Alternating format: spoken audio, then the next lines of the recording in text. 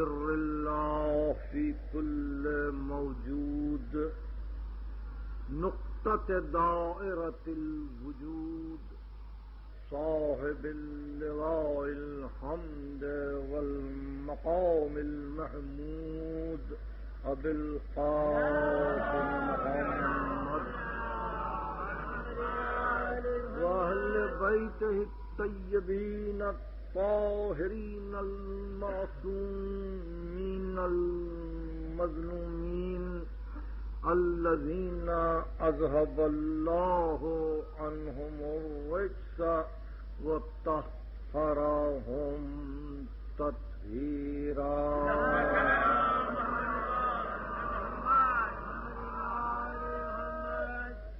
أما بعد فقد قال الله سبحانه وتعالى في محكم كتابه الحكيم والذين هاجروا وأخرجوا من ديارهم وأخرجوا اوزو فی سبیلی وقاتلوا وقتلوا لأكفرن عنهم سيئاتهم ولأدخلنهم جنات تجري من تحتها الأنهار. صلوات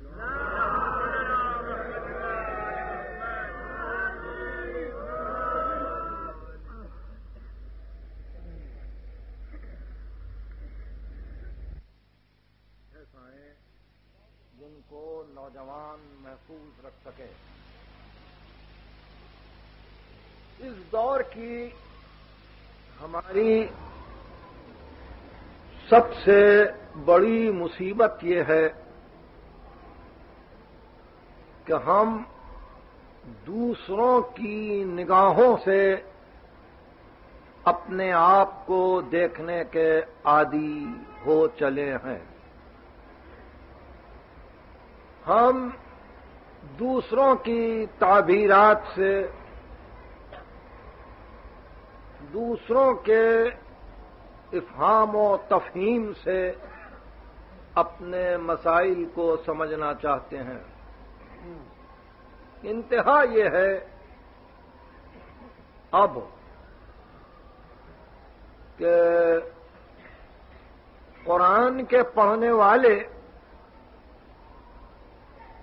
قرآن کو زیادہ تر اپنی سہولتوں کے اعتبار سے انگریزی میں پڑھنے لگے ہیں۔ اور مستشرقین کی آرا کو، ان کے مشوروں کو، ان کے حاصل کردہ نتائج کو مذہب اور دینیات میں بڑی اہمیت دی جانے لگی ہے۔ یہ ہمارا نہیں، اس وقت سارے عالم اسلام کا یہی حال ہے۔ اور اس سلسلے میں جو سب سے بڑی تکلیف ہے ہمارے اذہان کے لیے وہ یہ ہے۔ کہ اگر ایک زبان کا ترجمہ دوسری زبان میں بالکل اسی طرح سے ہو سکتا کہ جس سے بولنے والے کا صحیح مفہوم ذہن میں آ جائے، تو جب بھی ہم مطمئن ہو جاتے کہ کم از کم بیان کرنے والے کا مفہوم تو ہم سمجھ رہے ہیں۔ مگر افسوس یہ ہے کہ بیان کرنے والے کا مفہوم کچھ اور ہے، ترجمہ کچھ اور ہے، ہم کچھ اور سمجھ رہے ہیں اور اس پیغام کو ہم آنے والی نسلوں تک دینا چاہتے ہیں۔ نتیجہ یہ ہوا کہ فیلسی پر فیلسی، مغالطے پر مغالطہ غلطی پر غلطی۔ اور ظاہر ہے کہ جب اس طرح سے انبار لگ جائے تو شکوک کی ایک عمارت کھڑی ہو جاتی ہے شبہات کی ایک عمارت کھڑی ہو جاتی ہے۔ اس عمارت کو اگر ہم دین کہنے لگیں اس عمارت کو اگر ہم مذہب کہنے لگے، تو اس کا انجام وہی ہوتا ہے جو آج کل ہو رہا ہے کہ ہر شخص اللہ کا نام لے کے یہ کہہ رہا ہے کہ ہم مسلمان ہیں اور اسلامی آئین لانا چاہتے ہیں، ہم مسلمان ہیں اور اسلام کا قانون بنانا چاہتے ہیں یہ حیرت یہ ہوتی ہے کہ یہ ان لوگوں کی زبان سے سن رہا ہوں جو نہ عربی سے واقف ہیں نہ فارسی سے واقف ہیں نہ تفسیر سے واقف ہیں نہ فقہ سے واقف ہیں نہ حدیث سے واقف ہیں نہ کلام سے واقف ہیں نہ مزاج معصوم سے واقف ہے زندگی انگریزوں کے ساتھ گزری ہے وقت انگریزوں کے ساتھ کٹا ہے۔ انگریزی کتابوں کو دیکھا ہے اور آج وہ ہم کو اسلام کا دستور دینا چاہتے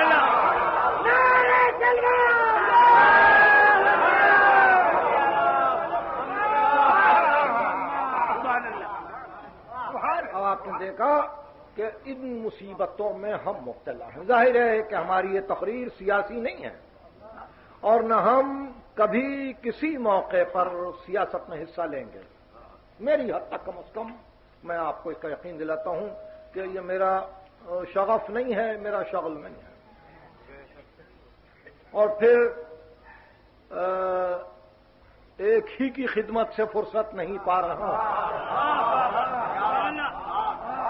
تو آپ کو معلوم ہے، جو ایک کو چھوڑتا ہے، وہ در در کی ٹھوکریں کرتا اس لیے، میرے لیے تو ناممکن ہے۔ بہرحال میں اپنے آپ کو صرف دیکھنے والا، مشاہدہ کرنے والا ناظر بھی نہیں بنا سکتا۔ جب تک کہ زبان چل رہی ہے اور جب تک گفتگو کرنے کی قوت ہے جن حقائق تک آپ کو مجھے پہنچانا ہے، وہ حقائق آپ تک پہنچتے رہیں گے۔ خواہ جو بھی مشکلات اب راستے میں حائل ہوں۔ تو آپ نے دیکھا کہ ہم اپنا مطالعہ اب دوسروں کی نگاہوں سے کر رہے ہیں۔ دوسروں کی نگاہوں سے کر رہے ہیں۔ تو ظاہر ہے کہ جو فرق پیدا ہو جاتا ہے وہ یہ ہے کہ جب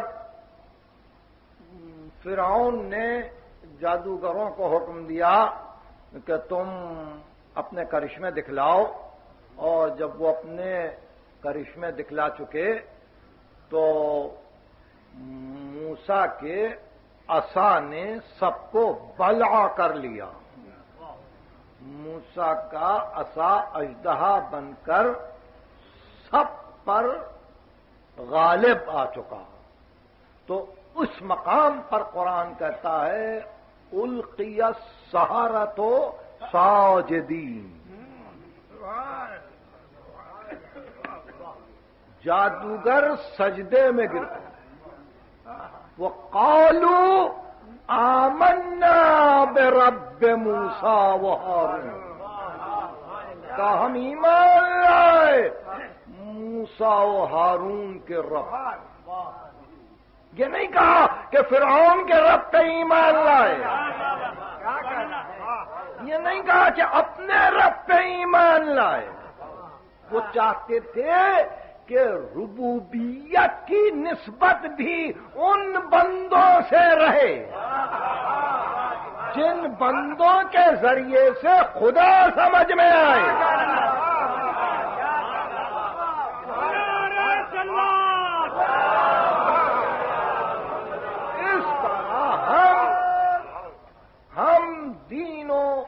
دیانت کا مطالعہ کرنا چاہتے ہیں۔ اب آپ جو کہیں کہ آپ نے اگر یہ کہا کہ آپ نے یہ دو نام کیوں چن لیے، تو آپ کو اس کی اجازت ہے کہ اس سے بہتر دو نام آپ کے پاس ہیں، تو مجھے دے دیجیے۔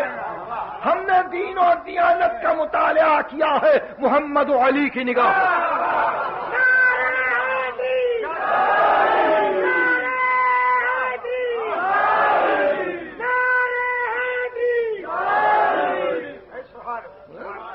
اگر ان دو ناموں سے بہتر کوئی اور نام ہے تو وہ آپ اختیار فرمائیں، بہرحال ان کی نگاہوں سے دیکھا ہے، ان کے ارشادات کو سمجھنے کی کوشش کی ہے، ان کے احکام پر چلنے کی تمنا ہے۔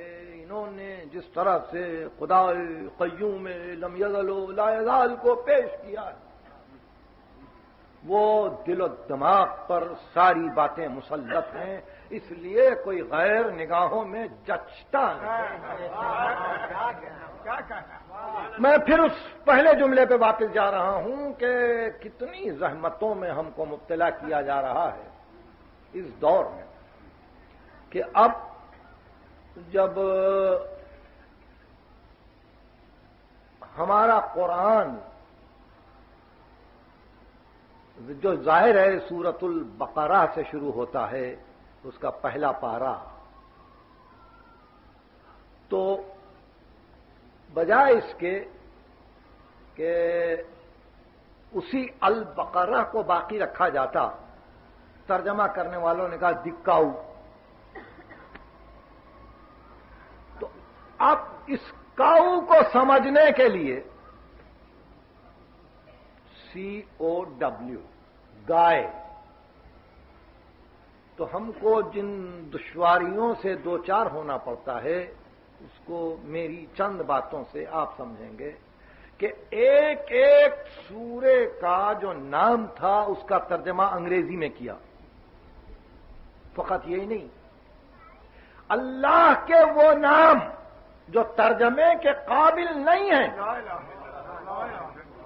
ان کا ترجمہ کیا۔ آپ سمجھ سکتے ہیں کہ کتنا وسیع لفظ ہے اور کتنا وسیع مفہوم ہے رب۔ رب رب کی تعریف قرآن نے کی رب و نلزی آتا کل شیئن خل کہو سمہدا رب وہ ہے کہ جس نے ہر شے کو خلق کیا اور پھر ہدایت کی۔ ربوبیت میں خلقت بھی ہے، ہدایت بھی ہے۔ بنانا بھی ہے، بڑھانا بھی ہے، پالنا بھی ہے، پروان چڑھانا بھی ہے، نگرانی کرتے رہنا بھی ہے۔ یہ سب معنی ربوبیت کے ہیں۔ تو لفظ لارڈ، یہ کیسے ان معنی کو برداشت کرے گا؟ لارڈ آف ورلڈ رب العالمین۔ تو آپ نے دیکھا یعنی رب کو کس طرح سے آپ اس لفظ میں کیری کریں گے، لے کے کیسے جائیں گے؟ لارڈ میں۔ غلطی ہے۔ اس لیے کہ جب آپ کی زبان پہ لارڈ کا لفظ آ جائے گا، تو وہ ہائی کورٹ میں بھی آپ استعمال کریں گے۔ اور پھر سورہ ہم کے ترجمے میں بھی استعمال کریں گے۔ اور کبھی انجیل پڑھتے ہوئے بھی آپ استعمال کریں گے تو ہم صحیح معنی میں یہ نہیں سمجھ سکیں گے کہ آپ کس کو رب کہنا چاہتے ہیں اور کس کو مالک کہنا چاہتے ہیں اور کس کو عادل کہنا چاہتے ہیں۔ فرق نہیں ہے، زبان میں اگر اتنی طاقت ہوتی کہ وہ وحی ربانی کے صحیح مفہوم کو پیش کر سکے تو آج خود انجیل کا یہ حال نہ ہوتا۔ تو جو انجیل کو مسق کر چکی ہے زبان، اس میں قرآن کو کیوں مسق کر رہے ہو؟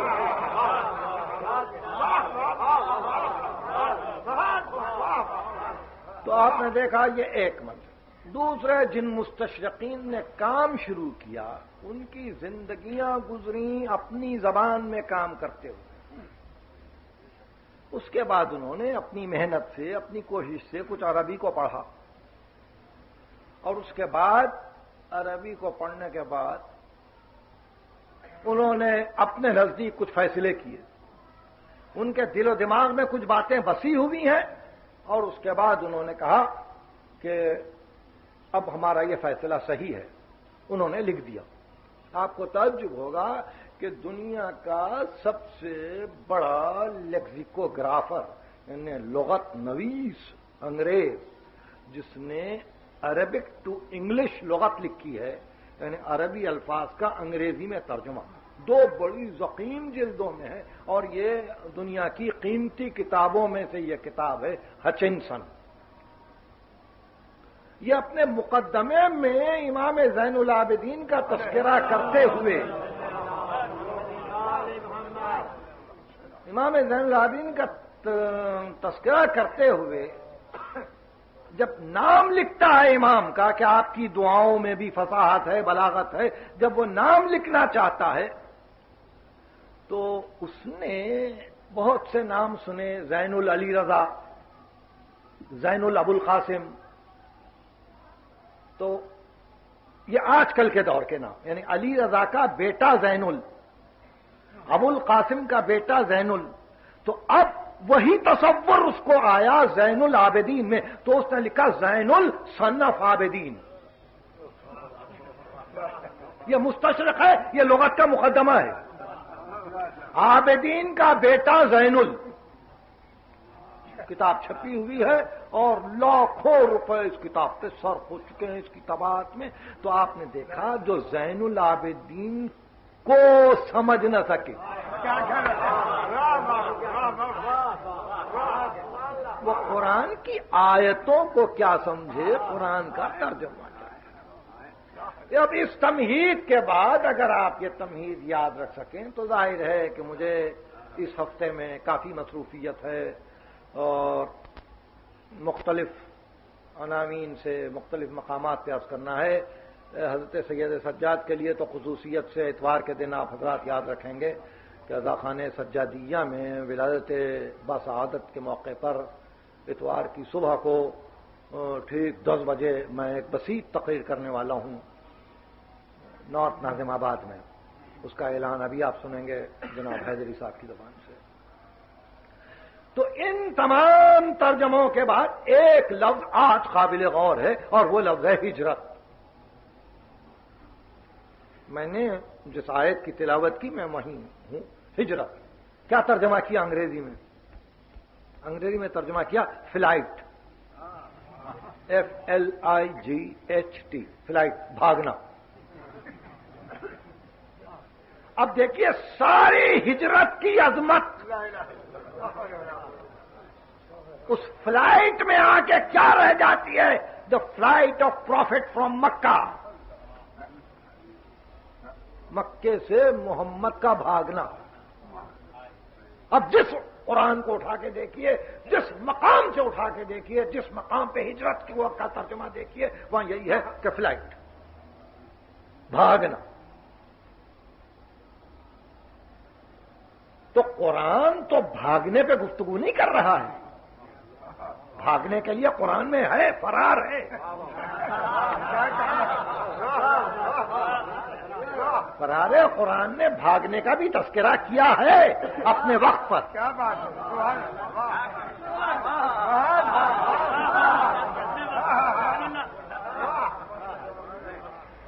مگر یہ ہجرت کے معنی بھاگنے کے ہو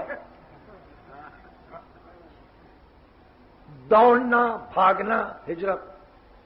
فلائٹ۔ تو پھر ہجرت واقعی کسی کے سمجھ میں نہ آ سکے گی۔ ہجرت کو کوئی سمجھ نہیں سکے گا۔ اگر انگریزی ترجمے سے کوئی ہجرت کو سمجھنا چاہے، اس اینک کو لگا کر کوئی ہجرت کو دیکھنا چاہے، تو ہجرت کیا سمجھ میں آئے؟ ہجرت تجدید ہستی مومن ہے۔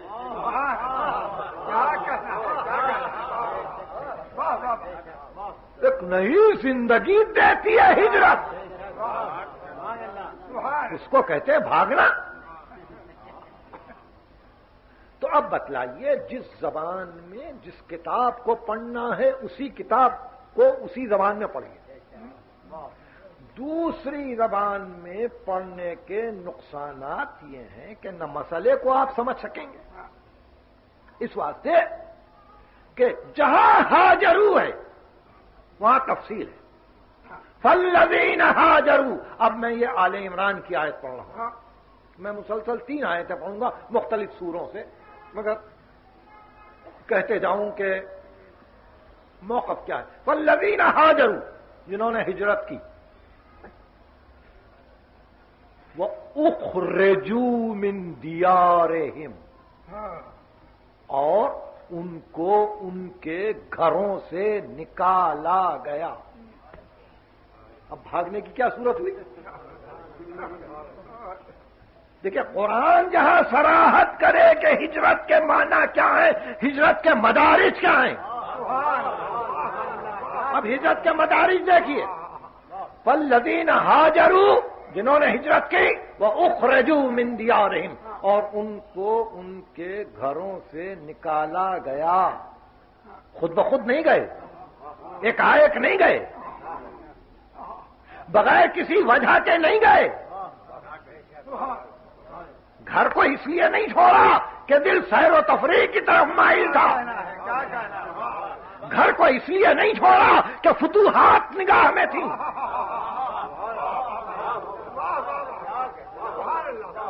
والذین حاجروا واخرجوا من دیارہم۔ ان کو ان کے گھروں سے نکالا گیا۔ اور اس کے بعد وہ ووزی فی سبیلی۔ اور ان کو میرے راستے میں ازیتیں دی گئیں۔ اب بھاگنا نہیں رہا۔ پہلے گھر سے نکالا۔ ازیت دی۔ جب ازیت دی، قاتل یہ بھی قتل کرنے پہ تل گئے۔ قاتلو و قتلو اور قتل ہو گئے۔ ہجرت سے شہادت تک۔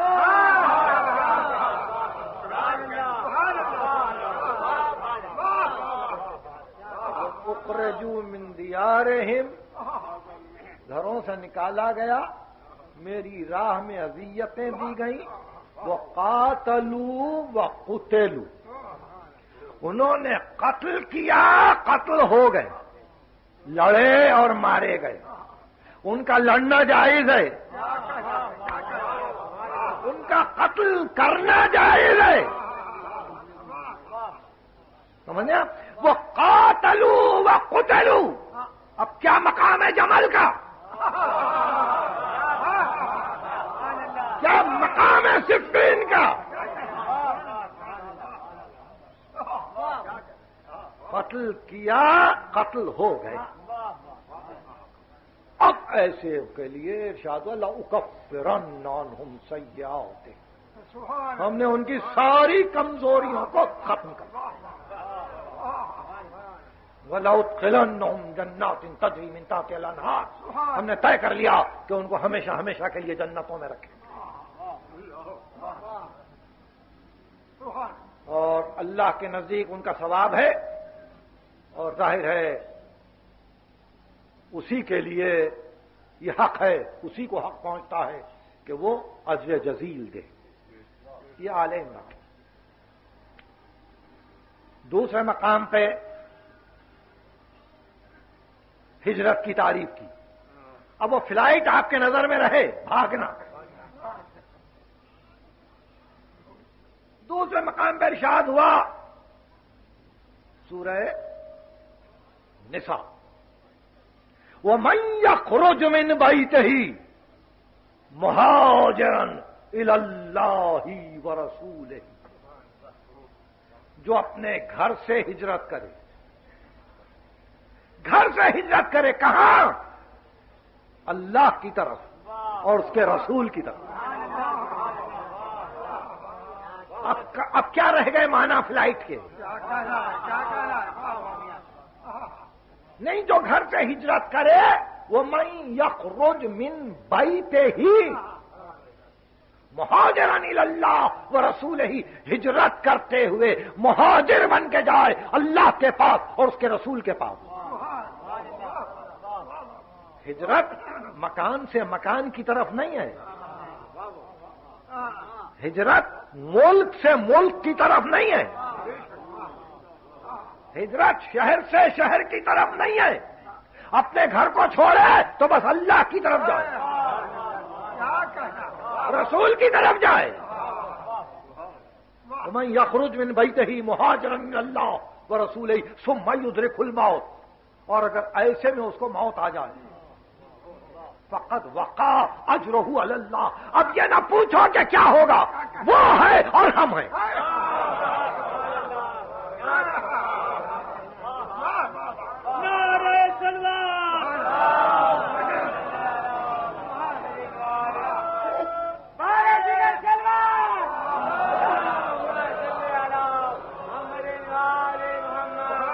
يخرج من بيته مهاجرا الى الله ورسوله ثم يدرك الموت، فقد وقع اجره على الله. اس کا اجر اب اللہ ہی پر ہے۔ اب یہ نہ پوچھو کہ کتنا اجر ملے گا۔ کتنا اجر ملے گا یہ نہ پوچھو، وہ ہمارے پاس آیا ہے۔ اپنا گھر چھوڑ کے ہمارے پاس آیا ہے۔ اب ہم جو چاہیں دے دیں۔ اگر پڑے مغز برابر بھی کسی کی آنکھ میں آنسو آئے اور جنت واجب کر دیں تو نہ پوچھو۔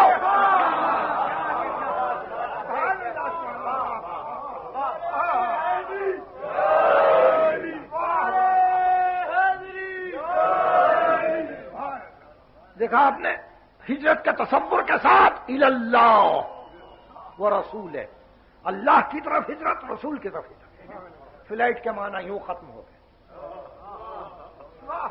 ترجمہ کیسا کریں گے لفظ کی جگہ آپ لفظ رکھ دیتے، انگریزی میں لکھ دیتے ہجرت۔ انگریزی میں لکھ دیتے رب۔ آپ نے انگریزی ہی میں لکھ دیتے اللہ۔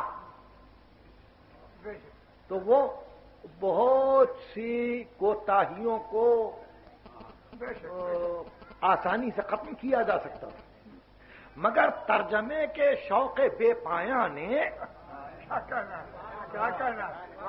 ہم کو عجیب الجھنوں میں ڈال دیا یہ تمہید ہے میری یاد رکھیے شاید ایرانیان میں جشن ولایت باسعادت کے موقع پر یہ تمہید کام آئے۔ یہ دوسرا مقام تھا۔ اور تیسری منزل تیسری منزل سورہ تور جہاں فرار کا ذکر۔ لفظ فرار جہاں ہے۔ مقابلہ پھر اللہ اگر فرار بھی کرنا ہے تو اللہ کی طرف۔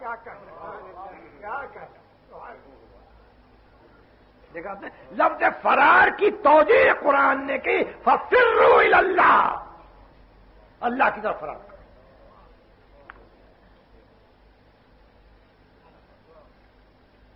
تو اللہ کی طرف فرار، اس کا ترجمہ کیا کریں گے آپ؟ فلائٹ تو نہیں کر سکتے۔ آپ دیکھ رہے ہیں یعنی اگر لفظ فرار بھی لے رہے ہیں، تو فرار ایک علاحدہ چیز ہے۔ ہجرت ایک علاحدہ چیز ہے۔ ففرو اللہ میں۔ ابھی اذیتوں کا ذکر نہیں ہے۔ کتال کا ذکر نہیں ہے۔ قتل کرنے کا ذکر نہیں ہے۔ ایک شخص دنیا سے ہٹ کے اللہ والا ہو جاتا ہے۔ حکمت ففر رو اللہ اللہ کی طرف فرار کرو۔ میں نے کبھی کہا تھا آپ سے، اور عادتن میں نہیں چاہتا کہ بار بار یہ گفتگو ہو،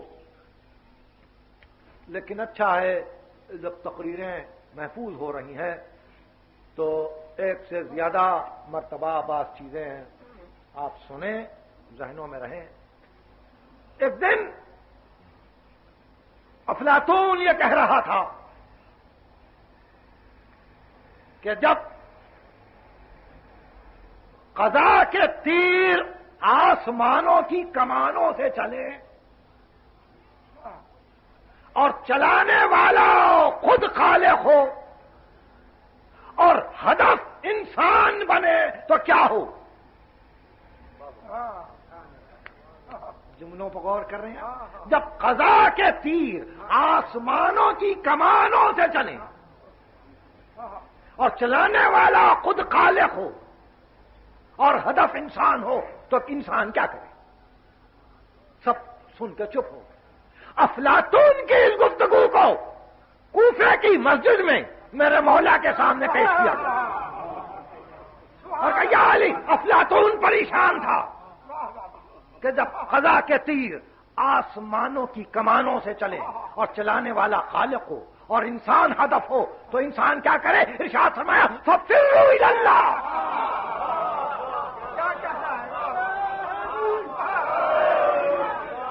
اللہ کی طرف بھاگو۔ آپ نے یہ جواب معصوم کا ہے وہ گفتگو فلسفے کی تھی۔ یہ فرق ہے فلسفے میں اور امامت میں۔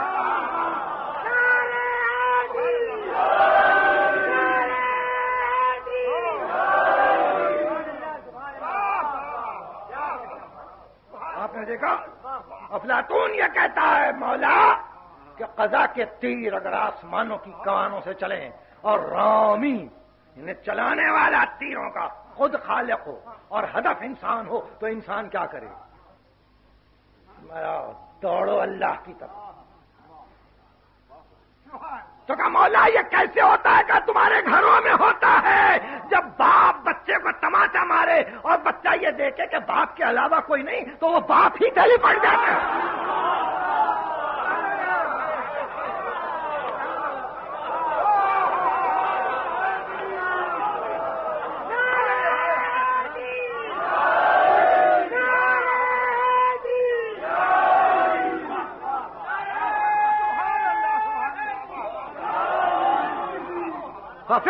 اللہ تو فرار ہے اللہ کی مگر اس فرار میں بھی فلائٹ کے معنی نہیں ہے جائے کے ہجرت میں ہجرت کے تو مدارج ہیں گھر کو چھوڑا گھروں سے نکالا گیا یعنی خود اپنی ذات سے نہیں چھوڑا اخرے جو مندی آ رہے وہ فی سبیلی۔ اور میری راہ میں اذیتیں اٹھائیں۔ اور جب اذیتیں اٹھائیں، قاتلو۔ پھر قتل کرنا شروع کیا وہ قتلو۔ اور قتل ہو گئے۔ تو ہم ان کو ابدی نعمتیں عطا کریں گے۔ یہ نہیں پوچھیں گے کہ تم نے کیوں قتل کیا؟ یہ نہیں پوچھیں گے کہ تم نے کیوں قتل کیا؟ یہ بڑا مسئلہ ہے اب ہزاروں علی کی تیک میں آ جا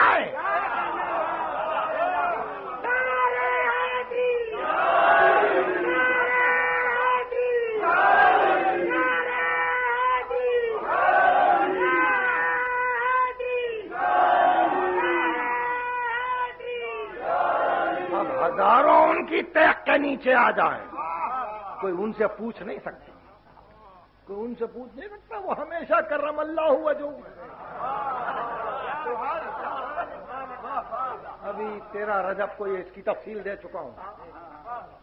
تو آپ نے دیکھا مفہوم ہجرت کو انہوں نے فلائٹ میں الجھا دیا۔ دیکھیے گفتگو طویل مقصود نہیں ہے میں اپنے وقت کے حدود میں ہوں۔ جب ہجرت رسول کا یہ عالم ہو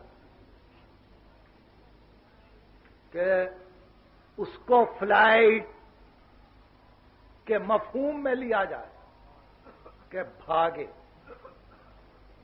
بھاگے۔ خوف کے عالم میں بھاگے، ڈر کر بھاگے مسائل کو برداشت نہ کر کے بھاگے، جو بھی مانا ہو، فلائٹ۔ تو جب ہجرت رسول کو دنیا سمجھ نہ سکی، تو اس دنیا کے لیے سفر سید الشہدا کا سمجھنا قیامت تک دشوار ہے۔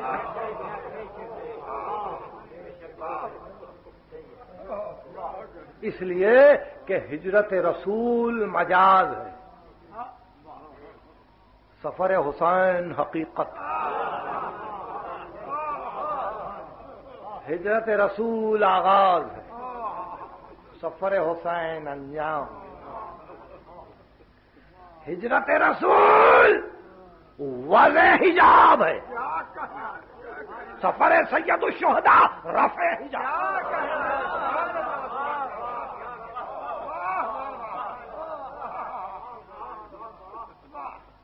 سمجھنے کی کوشش کیجیے کہ حسین چلے۔ تو وہ فلائٹ نہیں ہے۔ بھاگنا نہیں ہے۔ وہ خریجو مندیا رحم گھروں سے نکالا گیا۔ اب سورہ حج کی آئے ازن للذین یقاتلون بانہم ظلموا وان اللہ علی نصرہم لقدیر للذین اخرجوا من دیارہم بغیر حق الا ان یقولوا ربنا اللہ۔ یہ سورہ حج میں اذن جہاد والی آیت ہے کہ جن کو گھروں سے نکالا گیا اور ان کی غلطی صرف یہ تھی کہ وہ یہ کہتے تھے، اللہ ہمارا رب ہے۔ اس بنا پہ نکالا گیا ان کو۔ تو ہم نے بھی ان کو اجازت دے دی کہ لڑو تو اب اب گھر سے نکل کے جو لڑے، وہ عزن پایا ہوا ہے۔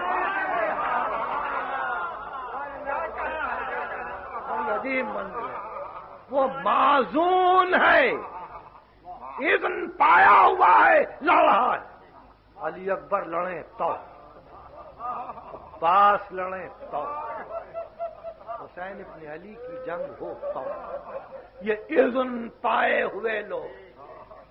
أذن للذين يقاتلون بأنهم ظلموا وإن الله على نصرهم لقدير الذين أخرجوا من ديارهم بغير حق إلا أن يقولوا ربنا الله ان کی غلطی صرف یہی تھی کہ وہ یہ کہتے تھے، اللہ ہمارا رب ہے. ہم نے کہا اچھا تم کو اذن لو.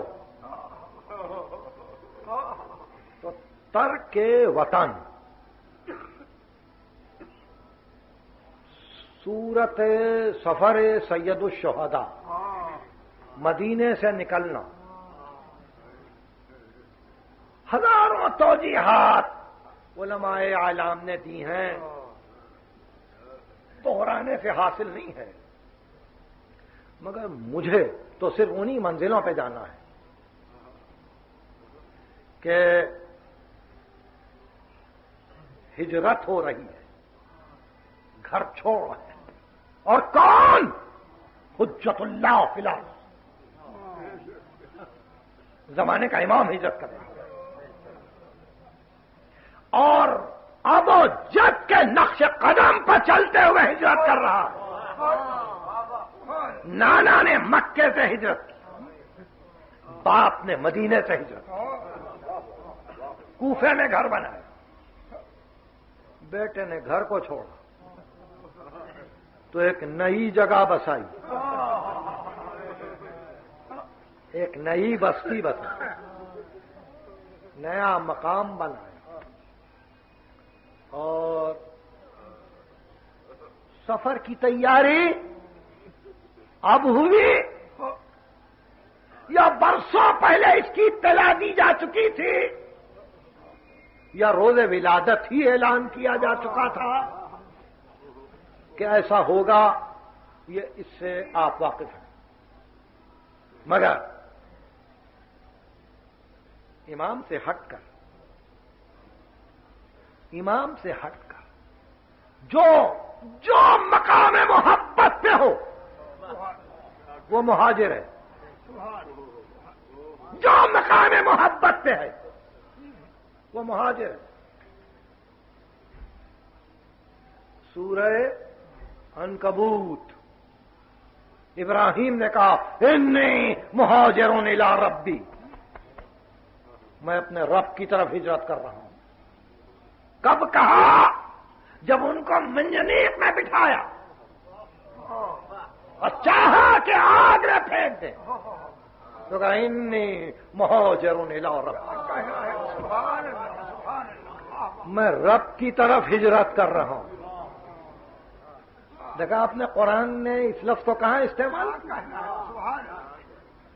سورہ ان کبو انتیسواں سورہ۔ انی مہاجر ربی، میں اپنے رب کی طرف ہجرت کر کسی نے امین المین سے پوچھا کہ مولا ہجرت کی تعریف کیجیے یا فرمایا ول ہجرت ہو متن اللہ حد الاول۔ ہجرت آج بھی اپنے حد اول پر قائم ہے۔ یہ مقام امامت ہے، دیکھیے۔ یعنی جب امام کی زبان سے جملہ نکلے تو کچھ اس کا وزن اتنا زیادہ ہوتا ہے، اتنا زیادہ ہوتا ہے کہ بغیر تفسیر کے جملے سمجھ میں نہیں آتے۔ اور تو کچھ نہیں کہا جاتا، بغیر تفسیر کے جملے سمجھ میں نہیں آتے۔ بل ہجرت ہو قائمتن اللہ حد ہجرت اپنی حد اول پہ قائم اس کے بعد تعریف کرتے ہیں ولہ یقو اسم الحجرہ اللہ احدن اللہ بے معرفت الحجت الحال اور ہجرت کا لفظ کسی پر واقع نہیں ہوتا جب تک کہ زمانے کے امام کو نہ پہچانے۔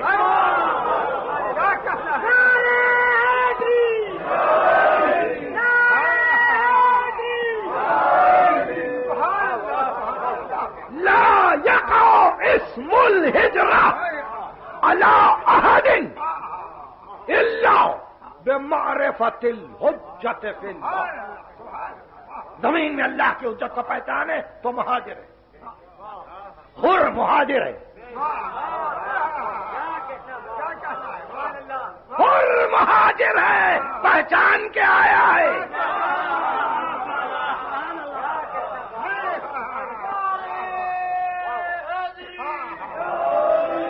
باتیں سمجھ رہے اس لیے اب ہر بھی یہ قتال کرے۔ میں نے اس وقت نام لیا تھا شہزادوں کا۔ علی اکبر کی جنگ، عباس کی جنگ، حسین کی جنگ۔ نہیں ہور کی لڑائی۔ مہاجر ہے جان کی لڑائی۔ مہاجر ہے۔ آفس نے ابھی شبی شاکری کی لڑائی، مہاجر ہے۔ یہی وہ منزل ہے۔ یہی وہ منزل ہے۔ کہ جہاں اگر ان کی لڑائی کی تعریف مسلسل کوئی کرے، تو وہ مبالغہ نہیں ہے، بلکہ حق کا اظہار ہے۔ جہاں میرنیس کو یہ کہنا پڑا تھا ہور کے لیے، زور بازو کا نمایاں تھا بھرے شانوں سے۔ دست فولاد دبا جاتا تھا دستانوں سے۔ برچھوں اڑ جاتا تھا دب دب کے فرس رانوں سے آنکھ لڑ جاتی تھی دریا کے نکل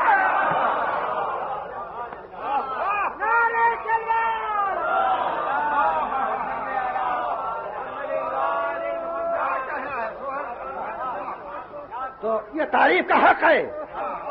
مہاجر کے قتال کی تعریف ہے۔ مہاجر کے جنگ کی تعریف ہجرت کرنے والا اگر دوست ہے دوست اور معرفت حجت اس کو حاصل ہے۔ اور اگر اس کو موت آ جائے میں خود من بھائی ہی مہاجر اللہ سما جتر کھل موت اگر موت آ جائے، اب آجر نہ پوچھو میں ماتا حب محمد ماتا شہیدہ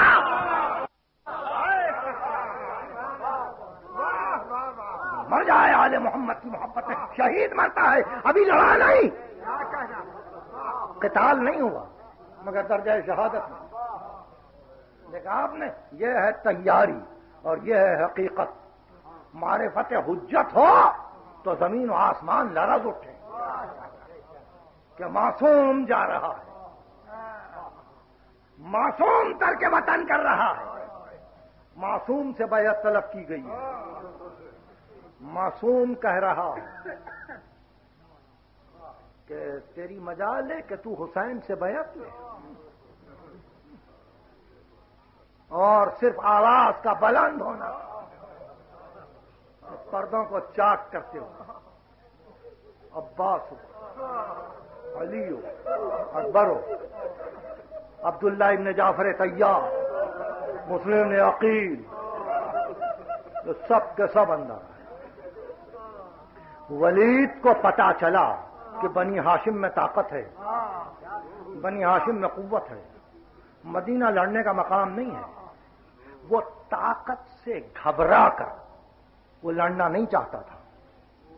حسین نانا کے روزے کے احترام میں لڑنا نہیں چاہتے تھے۔ اس نے کہا، جانے دو۔ مدینے میں جنگ جیت نہ سکیں گے۔ حسین نے کہا، نانا کا روزہ ہے۔ یہاں لہو کیسے بہے؟ اور اگر میری طرف سے ابتدا ہوگی تو قیامت تک یہی کہیں گے کہ حسین نے احترام کھو دیا۔ آئے، افسردہ آئے۔ بہن دم در کھڑی۔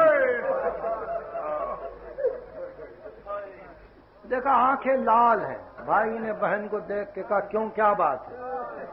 تو کچھ نہیں۔ آپ کے آنے میں دیر ہوئی۔ حاکم نے بلایا تھا۔ دل ڈر رہا تھا۔ معلوم نہیں کیا ہوتا۔ کچھ نہیں ہم نے اپنا فیصلہ سنا دیا۔ ہم نے اپنا فیصلہ سنا دیا۔ اور ہاں بہن۔ اب حسین کے لیے مدینے میں ٹہرنے کی جگہ نہیں ہے۔ مدینہ رہنے کا مقام نہیں ہے۔ بہن، تم تیاری کرو۔ میں جگ کے روزے میں جاتا ہوں۔ مختار امور حسین ہے زینب۔ میر کارواں ہے زینب۔ زینب کو اختیار ہے کون ساتھ چلے۔ کس کو چھوڑا جائے۔ زینب کو اختیار ہے کہ سامان کیا ساتھ رہے۔ کس طرح سواریاں جائیں، یہ سب ایک کی مرضی۔ فرزند رسول، میں آپ کی بارگاہ میں ہمیشہ یہ عرض کرتا ہوں کہ آپ نے دو ہستیوں کو بڑے اختیارات دیے تھے۔ ایک زینب، دوسرے مسلم نے عقید زینب کو بڑا اختیار۔ آغاز میں بھی، انجام میں بھی۔ بہن تیاری تم کرو۔ اور جب جانے لگے آشور کے دن، تو یہ کہہ کے چلے، بہن، یہ گھر تمہارے حوالے. بہن، اب تم جانو، یہ گھر جانے. بڑے اختیارات دیے۔ ادھر مسلم نے عقیل کو اختیار دیا تھا کہ تنہا ہو، جو چاہے کرو۔ جو چاہے کرو۔ لڑنا ہے، لڑ لو۔ حملہ کرنا ہے، حملہ کرو۔ کوفے کو الٹ دو! عقیل کے بیٹے ہو۔ علی کے بھتیجے ہو۔ تم کو کیا کہیں یہ اختیارات دیے۔ تو زینب سے یہ کہہ کے چلے، سفر کی تیاری کرو، ہم جاتے ہیں نانا کے روزے۔ روزے پر پہنچے، انگلیاں زری ہے رسالت پناہ میں گاؤ آسمان کی طرف سر کو بلند کیا اللہ ہادا قبر و نبی کا محمد۔ پروردگار، یہ تیرے نبی محمد کی قبر۔ وہ انبن و بنت نبیت، اور میں تیرے نبی کی بیٹی کا بیٹا ہوں۔ الہی، قد حضر من الامر، ما قد علمتا پروردگار، تجھے علم تھا، اور تجھے علم ہے جس واقعے کا۔ اس واقعے کے لیے وقت آ گیا۔ زبان امامت ہے۔ الہی قد حضر من الامر ما قد علمتا پروردگار جس کا تجھ کو علم ہے، وہ وقت آ گیا۔ فقر لی ماں ہو اللہ کا رزم بولے رسول کا رضا۔ بس مجھے چن لے اس کام کے لیے جس میں تیری اور تیرے رسول کی خوشی ہو۔ یہ کہہ کے سر ذریعے اقدس رکھ دیا۔ اور صرف اتنا کہا، نانا، بچپن کا وعدہ یاد۔ نانا اچھا ہوتا کہ آپ مجھے اپنی خبر میں چھپا لیتے اور یہ کہہ کے فرزند رسول بہت روئے۔ نانا کو بہت چاہتے تھے۔ حیات محمدی پہ یقین تھا۔ ایسا معلوم ہوتا تھا جیسے نانا سامنے ہے۔ بڑی شکایت تھی اور ساری رات اسی روزے میں تزبی ہو، تقدیس ہو، تحلیل ہو تمجید میں گزار دی۔ اٹھائیس کی صبح ہوئی۔ حسین نماز صبح کے بعد آئے۔ دیکھا بہن برابر ٹہل رہی۔ رات بھر تو نہ ٹہلتی رہی۔ انتظامات کرتی رہی۔ سواریاں حاضر کی گئی اور ادھر انتظام سفر۔ سارے مدینے میں شور ہو گیا کہ شہنشاہ مدینہ جا رہا، محمد کا نواسا جا رہا۔ ہے مدینہ اجڑ رہا ہے۔ تاریخ کے الفاظ یہ ہیں، کیا رسول یا رسول کی موت کے دن اتنا ماتم ہوا تھا؟ یا حسین کی رخصت کے دن اتنا ماتم ہوا ہر طرف مدینے میں رونے کا غل تھا۔ بیوہ عورتیں آ کے کھڑی ہو گئی مساکین کھڑے ہو گئے۔ ایتام کھڑے ہو گئے۔ اور ادھر سامان سفر پار ہوتا چلا۔ پہلے پانی سے بھری ہوئی مشکیں اونٹوں پر لادی گئی پھر انصار کا سامان۔ پھر عزیزوں کا سامان۔ پھر انصار کی سواریاں۔ جیسے جیسے ناکوں پر سامان بار ہوتا ناکا آگے بڑھتا۔ سامان کے ناکے آگے بڑھ گئے۔ پانی سے بھری ہوئی مشکوں کے ناکے آگے بڑھ گئے۔ انسار کے ناکے آگے بڑھ گئے۔ عزیزوں کی سواریاں آگے بڑھی شہزادیوں کی سواری کا وقت آیا۔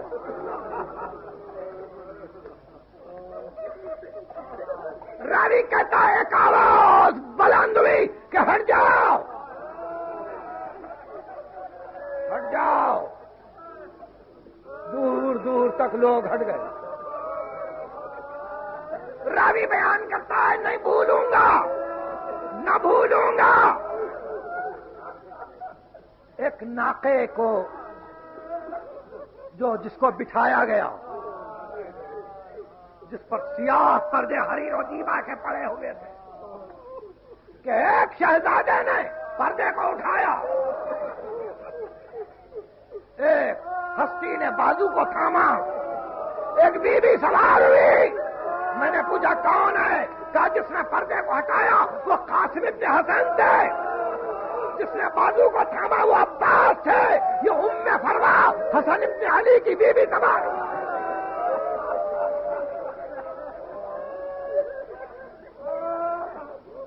دوسرا ناکا آیا۔ کسی بیوی کو سوار کیا گیا۔ پوچھا گیا، کون ہے؟ کہا، علی اکبر نے سوار کیا، یہ ام لیلا ہے۔ تیسرا ناکا آیا۔ کہا، یہ کون ہے؟ کہا، اس کو حضرت ابو الفضل نے بازو تھاما کہ شہزادی ام کلسوم آخر ایک سواری آئی ناکا بٹھایا گیا۔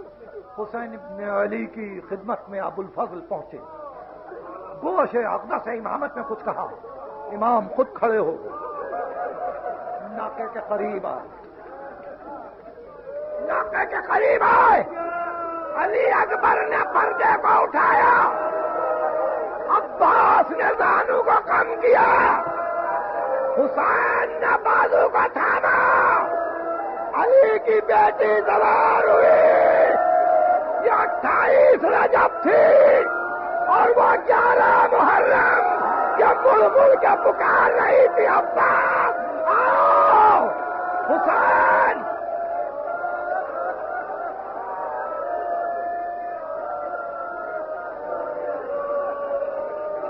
لو كان